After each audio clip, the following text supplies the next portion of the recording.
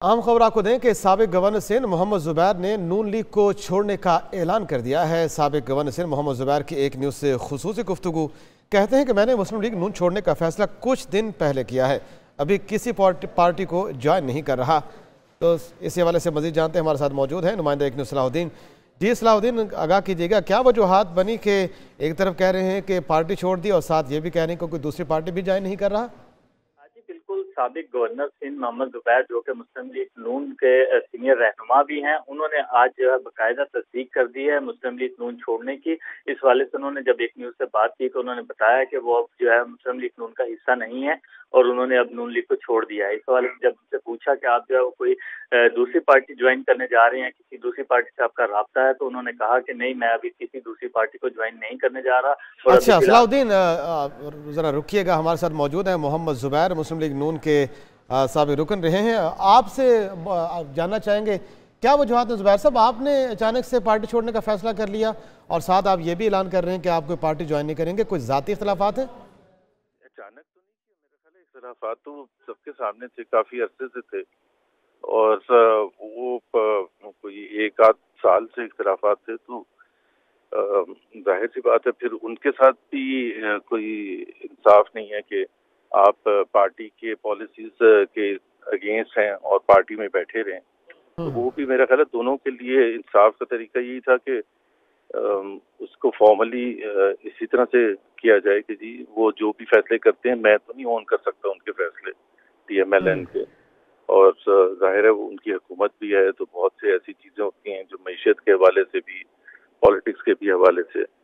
تو پھر آپ جب دفاع نہیں کر سکتے اور آپ کو شدید اختلاف بھی ہو تو پھر سے ایک ٹائم آتا ہے۔ بہت عرصہ ہو گیا تھا۔ میں تو پارٹی کی تنظیم سازی سے یا فیصلہ سازی سے بالکل بھی اس میں انوالو نہیں تھا کافی عرصے سے۔ اچھا زبیر صاحب یہ بھی آگاہ کیجیے گا کہ مفتاح اسماعیل اور شاہد خاقان عباسی نے بھی ایک پارٹی بنانے کا اعلان کیا ہے اور شاہد خاقان عباسی نے باقاعدہ طور پر اس کا جو ہے وہ نام اور چیزیں مینشن بھی کی ہیں۔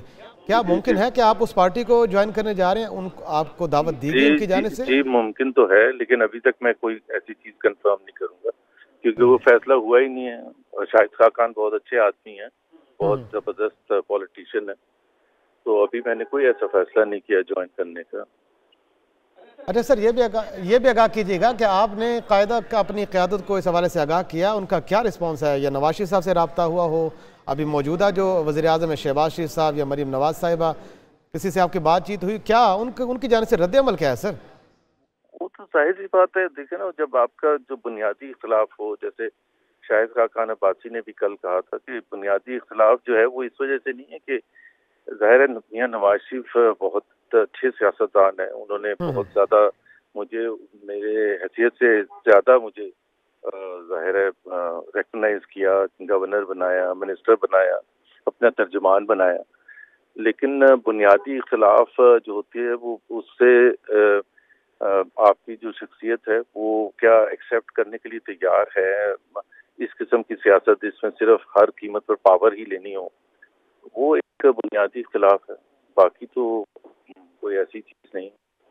ٹھیک ٹھیک ہے۔ بہت شکریہ محمد زبیر، آپ نے ہمیں وقت دیا اور صلاح الدین، آپ کا بھی بہت شکریہ۔ آپ ہمارے ساتھ موجود تھے، سابق گورنر سندھ محمد زبیر نے نون لیگ چھوڑنے کا اعلان کر دیا ہے اور انہوں نے کہا ہے کہ ابھی کسی پارٹی کو جوائن نہیں کر رہا۔